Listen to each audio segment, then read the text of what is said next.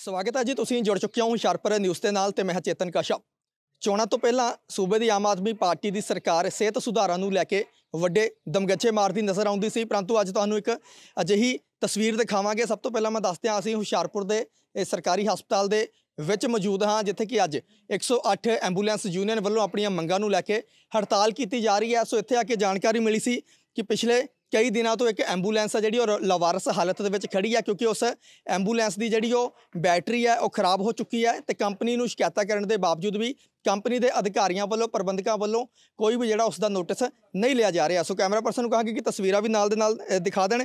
108 ambulance ਹੈ ZHL ਅ, company ਦੇ ਅਧੀਨ ਇਹ ਐਂਬੂਲੈਂਸ ਐਂਬੂਲੈਂਸਾਂ ਜਿਹੜੀਆਂ ਚੱਲਦੀਆਂ ਨੇ। ਸੋ ਐਂਬੂਲੈਂਸ ਦਾ ਜਿਹੜਾ ਨੰਬਰ ਹੈ PB 65 BC 48 74 ਨੰਬਰ ਹੈ ਐਂਬੂਲੈਂਸ ਦਾ। ਸੋ ਐਂਬੂਲੈਂਸ ਜਿਸ ਨੂੰ ਕਿ ਮਰੀਜ਼ਾਂ ਦੀ ਸਹਾਇਤਾ ਦੇ ਲਈ ਜਿਹੜੀ ਵਰਤੋਂ ਦੇ ਵਿੱਚ ਲਿਆਂਦੀ ਜਾਂਦੀ ਹੈ। ਸੋ ਇੱਥੇ ਐਂਬੂਲੈਂਸ ਦੇ ਡਰਾਈਵਰ ਤੇ ਈਐਮਟੀ ਸਾਡੇ ਨਾਲ ਭਾਈ ਸਾਹਿਬ ਮੌਜੂਦ ਨੇ। ਗੱਲਬਾਤ ਵੀ ਕਰਾਂਗੇ। ਭਾਈ ਸਾਹਿਬ ਕੀ ਨਾਮ ਹੈ ਜੀ ਤੁਹਾਡਾ? ਸਿਮਰਨਜੀਤ ਸਿੰਘ ਮੈਂ ਈਐਮਟੀ ਹੈ।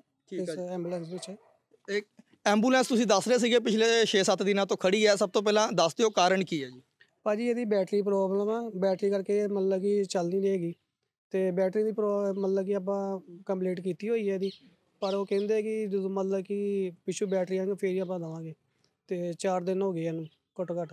ਮਤਲਬ ਕਿ ਇਹ ਪਿਛਲੇ 4-5 ਦਿਨਾਂ ਤੋਂ ਇਸ ਤਰ੍ਹਾਂ ਹੀ ਲਵਾਰਸ ਹਾਲਤ ਦੇ ਵਿੱਚ ਐਂਬੂਲੈਂਸ ਖੜੀ ਹੋਈ ਹੈ ਕਿਸੇ ਵੀ ਤਰ੍ਹਾਂ ਦੇ ਨਾਲ ਵਰਤੋਂ ਦੇ ਵਿੱਚ ਨਹੀਂ ਆ ਰਹੀ ਹੈ ਨਾ ਹਸਪਤਾਲ ਪ੍ਰਬੰਧਕਾਂ ਦੇ ਤੇ ਨਾ ਹੀ ਇਹ ਮਰੀਜ਼ਾਂ ਦੀ ਸਹੂਲਤ ਲਈ ਜੀ। ਬਿਲਕੁਲ ਬਿਲਕੁਲ ਭਾਜੀ ਮਤਲਬ ਕਿ ਇਹ ਮੇਨ ਸਿਟੀ ਵਿੱਚ ਦੀ ਗੱਡੀ ਹੈ ਕੋਈ ਵੀ ਐਕਸੀਡੈਂਟ ਹੁੰਦਾ ਸਾਰਿਆਂ ਨਾਲ ਪਹਿਲਾਂ ਇਹੀ ਪਹੁੰਚਦੀ ਹੈ ਉੱਥੇ। ਜੇ ਇਹੀ ਮਤਲਬ ਇਦਾਂ ਰਹੀ ਤੇ ਫਿਰ ਤੇ ਮਰੀਜ਼ਾਂ ਦਾ ਬਹੁਤ ਹੀ ਦਿੱਕਤ ਆਏਗੀ। ਕਿਵੇਂ ਦੇਖਦੇ ਹੋ? ਸਰਕਾਰ ਪਹਿਲਾਂ ਚੋਣਾਂ ਤੋਂ ਪਹਿਲਾਂ ਕਹਿੰਦੀ ਸੀ ਆਮ ਆਦਮੀ ਪਾਰਟੀ ਦੀ ਸਰਕਾਰ ਅਸੀਂ ਇਹ ਸਿਹਤ ਵਿਵਸਥਾ ਦੇ ਵਿੱਚ ਵੱਡੇ ਪੱਧਰ ਤੇ ਸੁਧਾਰ ਲੈ ਕੇ ਆਵਾਂਗੇ। ਆਇਆ ਕੋਈ ਸੁਧਾਰ? ਭਾਜੀ ਸਾਡੇ ਲਈ ਤੇ ਕੋਈ ਸੁਧਾਰ ਨਹੀਂ ਆਇਆ ਕਿਉਂਕਿ ਸਾਡੀ ਸੈਲਰੀ ਵਿੱਚ ਵੀ ਨਹੀਂ ਕੋਈ ਸੁਧਾਰ ਆਇਆ। ਜਿੰਨੀ 9500 ਸੈਲਰੀ ਉਹ ਤੇ ਹੋਣੀ ਹੈ 12 ਸਾਲ ਹੋ ਗਏ ਆ ਇੰਨੀ ਦੀ ਇੰਨੀ ਸੈਲਰੀ। ਹੈ ਜਦੋਂ ਕੰਪਨੀ ਦੇ ਨਾਲ ਗੱਲਬਾਤ ਕਰਦੇ ਹੋ ਕੰਪਨੀ ਦਾ ਪਹਿਲਾਂ ਨਾਮ ਵੀ ਦੱਸ ਦਿਓ ਕਿਹੜੀ ਕੰਪਨੀ ਦੇ ਅਧੀਨ ਤੁਸੀਂ ਸੇਵਾਵਾਂ ਦੇ ਰਹੇ ਹੋ ਜੀ? ਇਹ ZHL ਕੰਪਨੀ ਹੈ ਬੰਬੇ ਤੋਂ ਕੰਪਨੀ ਆਈ ਹੋਈ ਹੈ ਉਹੀ ਇਹ ਚਲਾ ਰਹੀ ਹੈ ਗੱਡੀਆਂ। ਠੀਕ ਹੈ ਜੀ। ਜਦੋਂ ਕੰਪਨੀ ਦੇ ਨਾਲ ਗੱਲਬਾਤ ਕੀਤੀ ਹੈ ਦੱਸਿਆ ਉਹਨਾਂ ਨੂੰ ਕਿ ਭਾਈ ਪਿਛਲੇ 5-7 ਦਿਨਾਂ ਤੋਂ ਜਿਹੜੀ ਐਂਬੂਲੈਂਸ ਹੈ ਜਿਹੜੀ ਖਸਤਾ ਹਾਲਤ ਦੇ ਵਿੱਚ ਖੜੀ ਹੈ ਜੀ। ਹਾਂਜੀ ਜੀ ਪੂਰੀ ਉਹਨਾਂ ਨੋਟਿਸ ਵਿੱਚ ਲਿਆਂਦਾ ਹੋਇਆ ਹੈ ਕਿ ਇਹਨੂੰ ਚਲਾਇਆ ਜਾਏ ਪਰ ਉਹ ਇਹਦੇ ਵੱਲ ਧਿਆਨ ਨਹੀਂ ਦੇ ਰਹੀ ਹੈਗੀ। ਕੀ ਜਵਾਬ ਆਉਂਦਾ ਜਦੋਂ ਤੁਸੀਂ ਉਹਨਾਂ ਨੂੰ ਦੱਸਦੇ ਹੋ ਕਿ ਐਂਬੂਲੈਂਸ ਆ ਜਿਹੜੀ ਪਿਛਲੇ ਕਈ ਦਿਨਾਂ ਤੋਂ ਖੜੀ ਹੈ ਹਾਦਸੇ ਵੀ ਵਾਪਰਦੇ ਨੇ ਕਿਉਂਕਿ ਸਰਦੀਆਂ ਦਾ ਮੌਸਮ ਹੈ ਕਈ ਵਾਰ ਹੁਣ ਇਹ ਧੁੰਦਾਂ ਦਾ ਮੌਸਮ ਵੀ ਹੈ ਜਿਹੜਾ ਦੌਰ ਸ਼ੁਰੂ ਹੋ ਚੁੱਕਿਆ ਤਾਂ ਅਕਸਰ ਧੁੰਦਾਂ ਦੇ ਵਿੱਚ ਆਪਾਂ ਵੇਖਦੇ ਹਾਂ ਕਿ ਕਈ ਵਾਰ ਹਾਦਸੇ ਵੱਡੇ ਹਾਦਸੇ ਵੀ ਵਾਪਰ ਜਾਂਦੇ ਨੇ।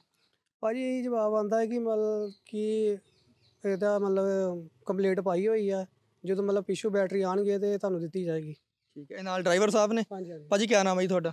ਭਾਜੀ ਮੇਰਾ ਨਾਮ ਕਸ਼ਮੀਰੀ ਲਾਲ ਹੈ ਜੀ। ਕਸ਼ਮੀਰ ਲਾਲ ਜੀ ਪਿਛਲੇ ਕਿੰਨੇ ਸਮੇਂ ਤੋਂ ਤੁਸੀਂ ਇਹ ਚੱਲ ਰਹੇ ਹੋ ਇਸ ਐਂਬੂਲੈਂਸ ਦੇ ਨਾਲ? ਮੈਂ ਸਰ 3 ਸਾਲ ਤੋਂ ਜੀ।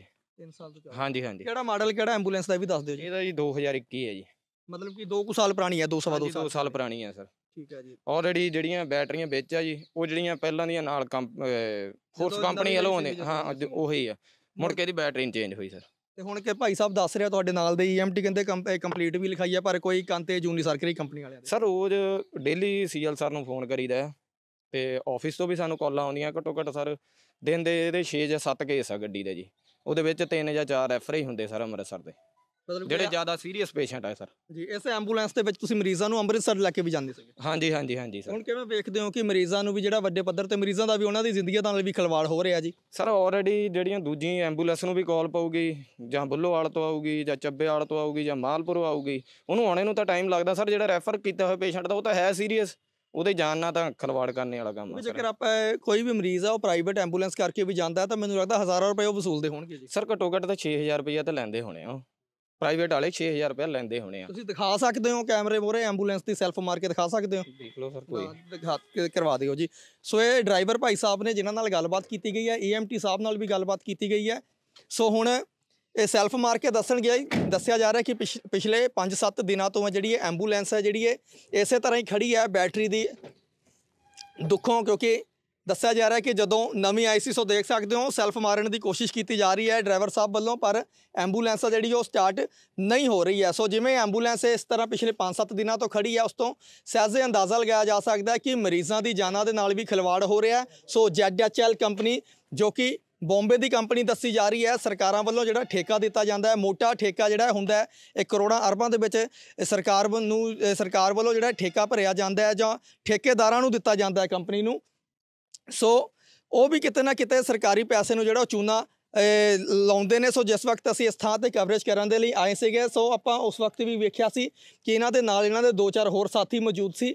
ਧੱਕਾ ਲਾ ਕੇ ਉਹ ਜਿਹੜਾ ਐਂਬੂਲੈਂਸ ਨੂੰ ਜਿਹੜਾ ਉਹ ਸਾਈਡ ਤੇ ਕਰ ਰਹੇ ਸੀ। ਸੋ ਮੈਂ ਪੰਜਾਬ ਦੇ ਮੁੱਖ ਮੰਤਰੀ ਭਗਵੰਤ ਮਾਨ ਨੂੰ, ਸਿਹਤ ਮੰਤਰੀ ਨੂੰ, ਸਮੁੱਚੀ ਪੰਜਾਬ ਸਰਕਾਰ ਨੂੰ ਅਪੀਲ ਕਰਨਾ ਚਾਹਾਂਗਾ ਕਿ ਦੇਖੋ ZHL ਕੰਪਨੀ ਤੁਸੀਂ ਮੋਟੀਆਂ ਤੇ ਮੋਟਾ ਠੇਕਾ ਜਿਹੜਾ ਕੰਪਨੀ ਵਾਲਿਆਂ ਨੂੰ ਦਿੰਦੇ ਹੋ, ਪਰੰਤੂ ਕਿਸ ਤਰ੍ਹਾਂ ਮਰੀਜ਼ਾਂ ਦੀਆਂ ਜਾਨਾਂ ਦੇ ਨਾਲ ਖਿਲਵਾੜ ਹੋ ਰਿਹਾ, ਇਹ ਤਸਵੀਰਾਂ ਵੇਖ ਕੇ ਤੁਸੀਂ ਸਹਿਜੇ ਅੰਦਾਜ਼ਾ ਲਗਾ ਸਕਦੇ ਹੋ। ਕੈਮਰਾ ਪਰਸਨ ਕਰਮਜੀਤ ਸਿੰਘ ਅਜੇ ਦੇ ਨਾਲ ਚੇਤਨ ਕਸ਼ਪ ਤਾਜ਼ਾ ਤਰੀਨ ਖਬਰਾਂ ਦੇ ਲਈ ਜੁੜੇ ਰਹੋ ਹੁਸ਼ਿਆਰਪੁਰ ਨਿਊਜ਼ ਦੇ ਨਾਲ।